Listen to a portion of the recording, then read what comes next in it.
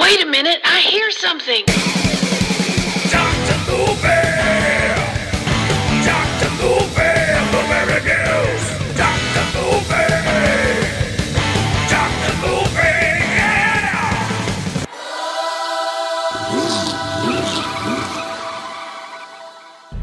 Welcome back, everybody, to another episode of Doctor Movie, where I talk about movies while driving my car, and you're drunk enough to listen to it and not turn it off.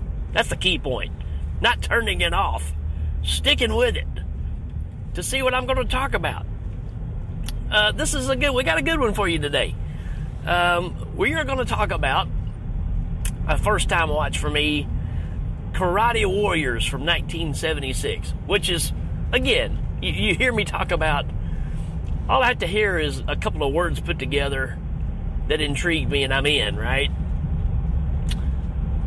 How, how more can you pick something specifically for me than pick a movie from 1976 and have the words karate and warriors in it, right? And lo and behold, uh, it's a Sonny Chiba film which I'm always down for, but I've never seen this one before. And uh, I tell you what, it doesn't disappoint. If you're uh, if you don't know who Sonny Chiba is, all the uh, the fantastic Street Fighter movies. This is kind of what brought him to fame, and, and this one's no different. This is like a continuation. It feels like, and uh, pretty much made him the hero that he is. Uh, everybody in the uh, martial arts, grindhouse, exploitation uh, movie fans, they, they all have a great appreciation for the, the works of Sonny Chiba. And I'm no different. Unfortunately, I just haven't seen them all. So, uh, was excited about checking this one out and uh, had a blast with it. Let me pull out on the highway here. And, um, let's talk about this one, shall we? We shall. Uh, action martial arts flick, 1976. Like I said, uh, it's pretty straightforward. A street fighter and a samurai sword expert join an underworld family feud over heroin. Yeah, that's pretty much it. I love the fact of, you know, Sonny Chiba comes into town. You you kind of get the John Rambo feel about him when he comes in, right? He's basically got a jacket and a, and a, a clothes basket or a clothes bag on his back. And that's it. And he's just wandering into town. You know, of course, with Rambo, he's looking for his old team or whatever. Old uh, army pals, war pals. And uh, just Sonny coming in looking for some work. And uh, he sees a fight going on in the street. This one kid gets hurt pretty bad, and he looks around like, does nobody care? I mean, they're just going to let him lay here? So he puts him on a mat and drags him to a hospital. The doctor's working on him. And here's where Chiba gets the, the lowdown of what's happening, right?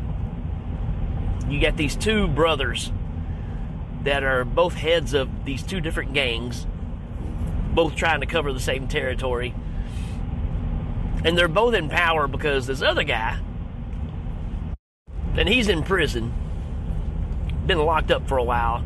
Apparently, he was the big, uh, the big gang lord of the time, and apparently has a an incredible amount of hidden heroin somewhere, worth millions, and he's locked up, and only he knows where it is. Well, the two brothers have started their own gangs, and they're both fighting each other and they're both trying to find this heroin. And that's that's pretty much the basis for this whole movie, right? And uh, Chiba, who in this movie is named Chico, which I'm still trying to figure that one out.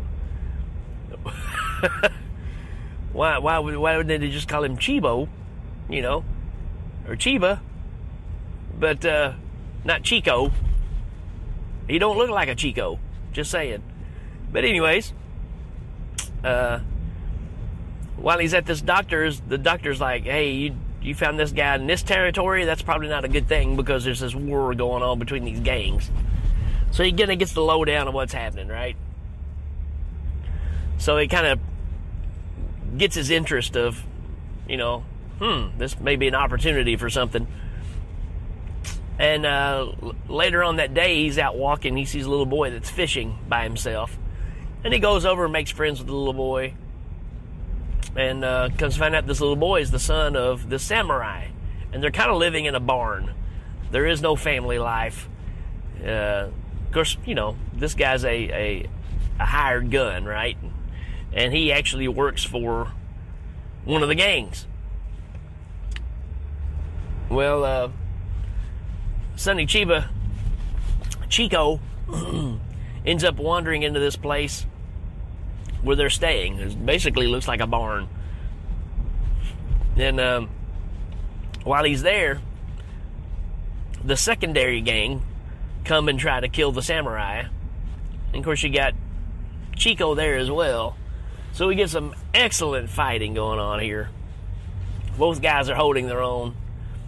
And um, they try to kidnap the kid, right? So they're trying to get the kid, and uh, that way they got something that they can hold against the samurai guy. Because I think both sides are wanting the samurai to work for them. Like I said, he's a pretty bad dude. And uh, that doesn't work out because, you know, you got Chico there now, and you got Chico and the man. Chico and the samurai man. and uh, so out of this, there, there's some confusing stuff going on where there's this young lady that's a nurse, right? She works at the hospital. She's involved, you know, with this stuff, but she's got a sister. I believe it's her sister. Could be cousin, could be aunt. I think it's sister though. Um, and she's, I want to say she's a madam, but she's playing both sides of the gang, right? She actually works for one of them, but she acts like she's in love with the other brother. She's messing around with both brothers. But she's actually the girlfriend of the guy that's in prison. And uh, so, you know, she's one of those that kind of gets bounced around. She's just there to try to make a living and not get killed, right? Because once you get involved with that kind of stuff, there's really no way out. So you better play nice uh, if you want to or not. So uh, there's your lineup of all the characters, really. And from there, it's uh, Sonny Chiba going to both gangs and saying, "Hey, I can whip every guy you got here. You need to hire me." And then he, he'll do a demonstration and beat up their toughest guy. And then when they offer the money, he's like, "I'm not working for that. That's not enough." And then he'll leave. But uh, he's playing both sides, and in his mind, he's trying to score on the heroin, right? So I think it's funny that you know, this whole movie is all about Sonny Chiba. You know, it's all over a little boy and some heroin. kind of a weird concept, but that's that's what we have here. But uh, by the end of it, you've got where again they're still trying to blackmail the the samurai. Matter of fact, there's even one scene where Sonny Chiba comes in, and he has cut the arm. Sonny Chiba's character cut the arm off of a guy from one of the gangs wraps it up in a newspaper, and they're and the two brothers are trying to have this big truce because they both think each other knows where the heroin is, and they're trying to at least get half of it. Where you know they'll play nice to where they can get at least half. And while they're having their meeting, Sonny Chiba comes in and just lays his arm on the table. He's like, "Yep, the samurai is out there, and he's killing people on your side." So he's like betraying them. So he's making it, you know, he's playing along with it. And uh, so that kind of causes a rift between the samurai and and Chico. And uh, by the end of it, the samurai even tells his son, "One day I'm going to have to fight that guy," because that's how these movies go, right? Uh, even though they kind of are, are friends in a way, they still got their reputations and you know the honor and all that stuff, right? So, um, you got a lot of you know beating up let, us just put it this way Sonny Chiba, Chico, I don't know, I think he whips like, I don't know, each, each gang's got like 30 people in it. now, he does get some help from the samurai there at one point. But I think I think Sonny whips about ninety people in this movie, kills a bunch of them. Um, because he fights three gangs. He fights the two brothers gangs, beats all of them, and then the guy gets out of prison, who's blind in one eye, and he brings his gang, and they're they're a little bit more notorious, right? Matter of fact, a lot of his guys left and went to these brothers gangs because they didn't have anything else to do while he's in prison. So when he gets out, he's a little pissed at them, like they're supposed to stay loyal, but you know they gotta have they gotta have food put on the table. So, and uh, you go through this whole movie with this girl that is the link to all of this, and then as soon as dude gets out of jail, he kills her, and then uh, you get where uh, Chico finds out the mystery to where the, the heroin is before the guy gets out of prison and finds it in a graveyard. And uh, the samurai shows up, and you know he's like, "I, I, some somehow I knew you were going to find it, right?" So they both knew that they were both looking for the same thing because this is a way to, as bad as it is, it's worth all this money. They'll be set for life, right? So we we get the big fight between the samurai and Sonny Chiba, and then after that we get, you know, the guy that's in prison and his gang showing up for another big fight. And uh, I'm not going to tell you much more than that, right? Uh, it's a pretty cool ending. Pretty awesome. I'm telling you, the fight scenes in this are great. There's a great one, great stuff that happens on a train. Uh, this is a cool flick. I'll just tell you that. It it seems it, it's kind of weird having a, a samurai and a. I'm gonna say this movie's supposed to be set in the 70s, just because of the technology and everything that's going on, and the way they're dressed. They definitely look 70s. Um, so that that kind of threw me a little bit. Um, the whole thing with the little boy, and um, you know not having both of his parents, all that stuff plays into it. It's a solid flick, y'all.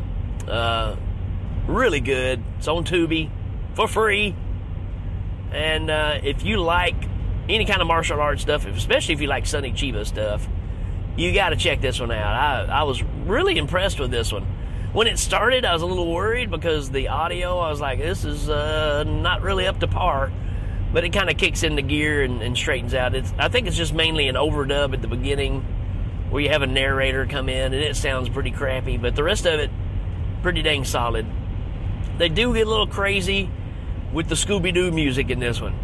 Uh, that's the only thing I thought it was really odd was the the music sounds like you know the sound effects and stuff that you'd hear on Scooby Doo. Does it really fit? I don't know. That's the oddball thing about this flick.